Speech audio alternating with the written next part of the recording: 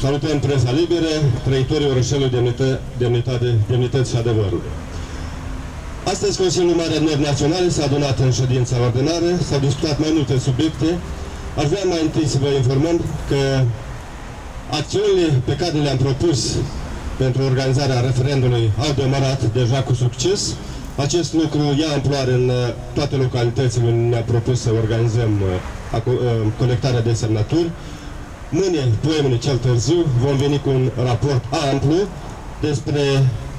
acest lucru ca să cunoască toată țara că obiectivul pe care l-am propus noi, Consiliul Mare Adunări Naționale, va fi atins pentru că este o deschidere totală a cetățenilor pentru colectarea de semnături în uh, vederea realegerii, alegerii și demiterii președintelui statului de către popor, inclusiv minimalizarea numărului de deputați în Parlamentul Republicii și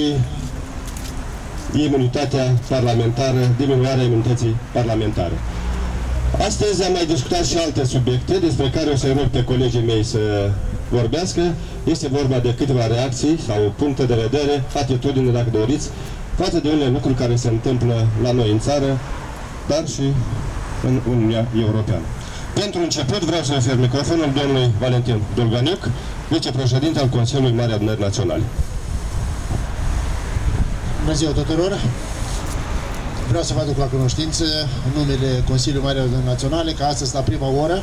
am avut uh, o întrevedere foarte importantă pentru noi cu unul din partenerii de dezvoltare a Republicii Moldova, și anume Consiliul Europei, la solicitarea dânșilor o delegație în componența uh, Vasile Năstase, Vasile Zgărdan, Nicolae Josan și eu personal, ne-am întâlnit și am discutat pe parcursul uh, a unei ore despre ceea ce se întâmplă aici în Republica Moldova, pentru că partenerii de dezvoltare a Republicii Moldova sunt foarte și foarte îngrijorați de starea de lucruri care degradează din zi în zi, din oră în oră. Am răspuns uh, la mai multe întrebări și le-am spus care este poziția noastră oficială față de lipsa unui guvern, poziția noastră oficială față de lipsa unei majorități parlamentare și chiar uh, față de ceea ce se întâmplă astăzi sau ce s-a întâmplat începând cu ora 2 de noapte, atunci când uh, oligarhul numărul 1 zice că a revenit în politica din care nici nu a plecat sau a revenit la conducerea Republicii Moldova de unde nici nu a plecat. Dar despre acest lucru va vorbi colegul nostru Vasile Năstase. Eu am să vă aduc la cunoștință care au fost temele dezbătute sau să zicem uh, interesul celor reprezentantului Consiliului Europei, președintului Comisiei pentru Dezvoltare, împreună cu reprezentantul oficial al Consiliului Europei în Republica Moldova. Am discutat uh, despre atitudinea noastră față de captivitatea Republicii Moldova. Am discutat și am adus la cunoștință uh, care este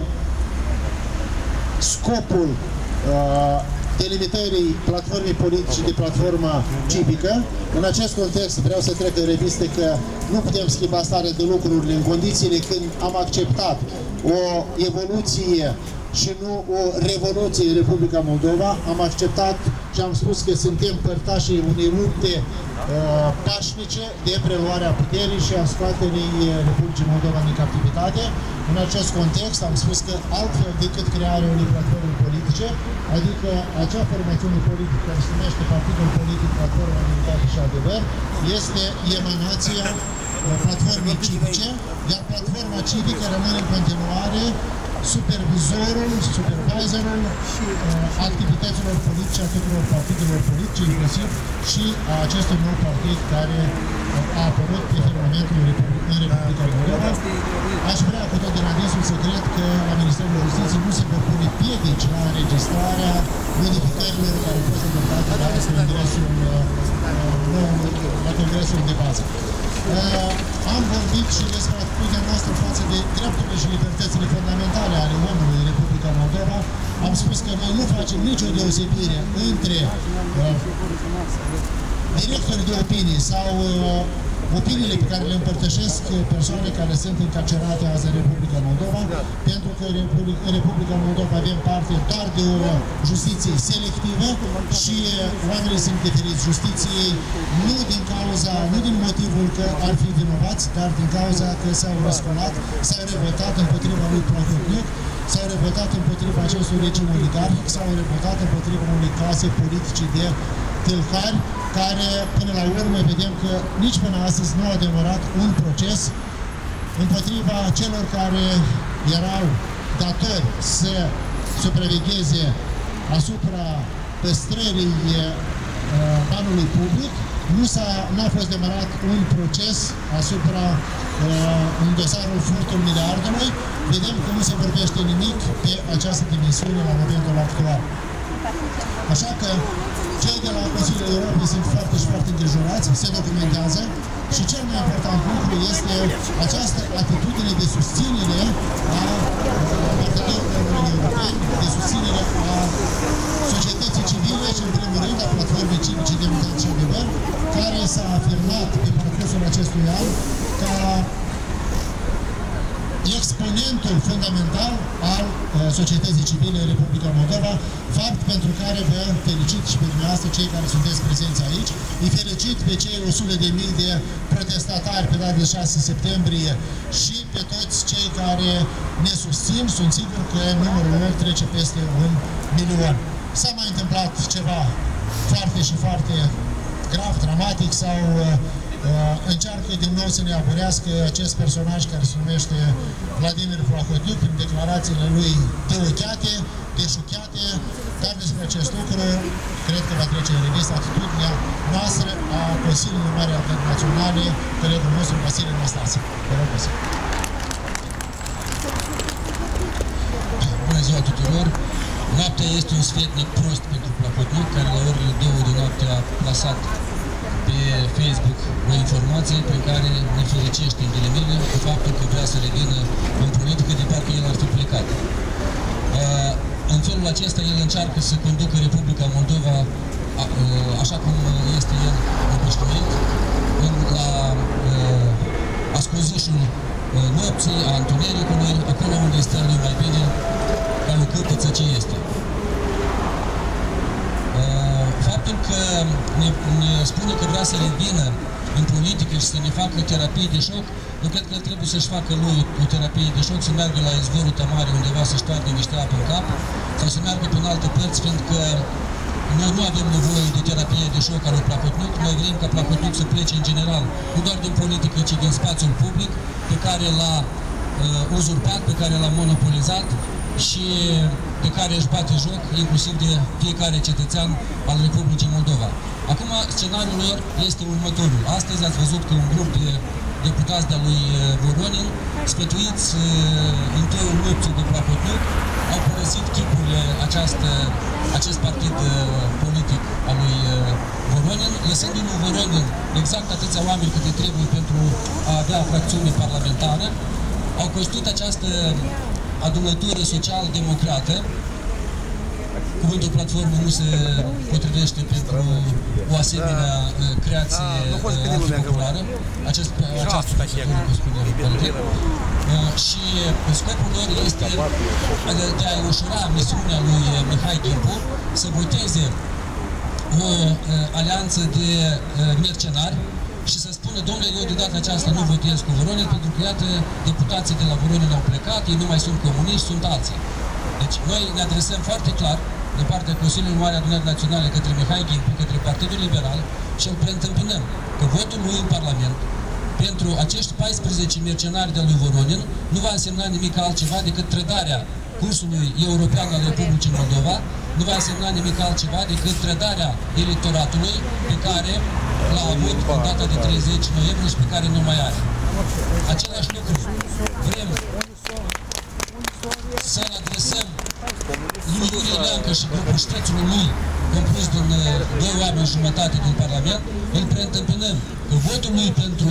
Plahotniuc sau pentru uh, o altă creatură de-a lui, pe care, care va fi propus acolo, de asemenea va fi o trădare a cursului european al Republicii Moldova și a, a unei părți din electoratul Partidului Liberal Democrat, care în 30 noiembrie i-a propulsat pe acești trei în, în Parlament. Deci, aceste două entități politice trebuie să, să înțeleagă foarte bine că le-am dejucat scenariul, că noi știm foarte bine ce vor să facă ei, că vor să-l promoveze pe Plahotniuc pentru a pune mâna pe Ministerul de interne, pentru a pune mâna pe celelalte instituții, pe vamă, pe celelalte instituții ale statului care nu sunt în captivitatea lui încă, câteva, că au rămas foarte puține, și că el vrea în continuare să jefuiască acest popor, vrea să mențină toată puterea Republica Moldova, inclusiv să încerce cumva să împiedice protestele noastre masive, puternice, pașnice, dar lucru care nu se va întâmpla pentru că noi ne vom opune cu toată vehemența noastră civică și nu vom permite acestui oligarh ticălușit să șefuiască în continuare și să-și bată joc de poporul Republicii Moldova. Încă o dată reiterăm, aceasta este poziția noastră comună a membrilor Consiliului Mare Adunării Naționale, care au fost votați pe data de 6 septembrie de peste 100 de mii de oameni și că noi vom, uh, uh, ne vom menține împreună uniți până vom realiza toate revendicările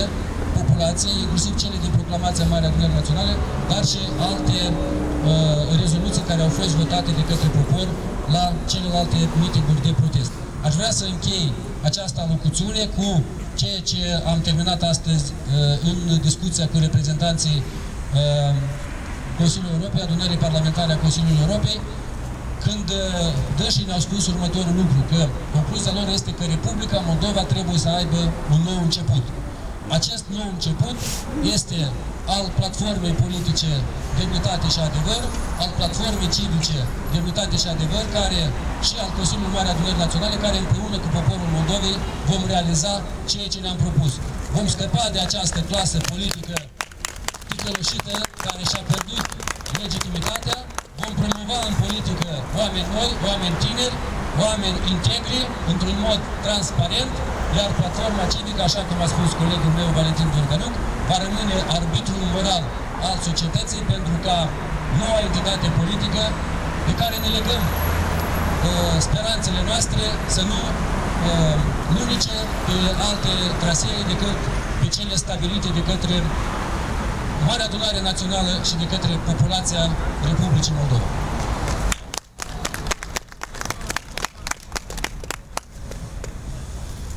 Dragi prieteni, iată eu mă uit la acest brad și cred că el este foarte și foarte simbolic. O zi, o zi, două zile în urmă, este chiar colgăluț, așa cum este Moldova noastră. Și acum,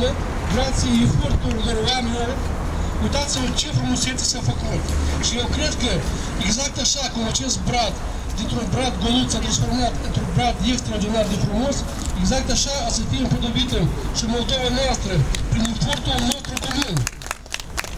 Și, și, și eu cred că în păfită tuturor încercărilor acestor criminali să ne dezbină, să bage zizania între oameni, noi să fim uniți ca niciodată, că să făurim într-adevăr din Moldova o țară de care noi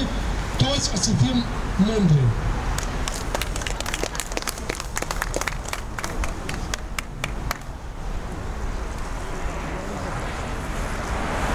Dragi prieteni, ca să încheiem uh, această conferință de presă, aș vrea doar să mai zic că se pare, devine tot mai evident că unii politicieni ticăloșiți din uh, Republica Moldova vor să transforme întreaga țară într-un teatru al absurdului, iar piesa pe care o regizează Plahotniuc s-ar vrea să-i aibă actori pe cetățenii Republicii Moldova. Nu vom admite acest lucru, pentru că noi suntem reprezentanții demnității și adevărului. Și așa cum au spus colegii mei, cum se frumusețează acest brad, cum renaște el din dragostea dumneavoastră a tuturor, așa va renaște și țara noastră. Domnul să ne ajute! Ne propunem zile viitoare, cred că mai reușim, spune colegul Nicolae Josanu, O să vă anunțăm despre un program uh, interesant, un program artistic pe care îl va regiza colegul nostru Nicolae Josană, dar o să vă anunțăm uh, în una dintre conferințele apropiate. Vă mulțumim! O zi cât mai reușită tuturor! O zi frumoasă, exact așa cum este și asta de astăzi și un viitor reușit pentru întreaga Republică.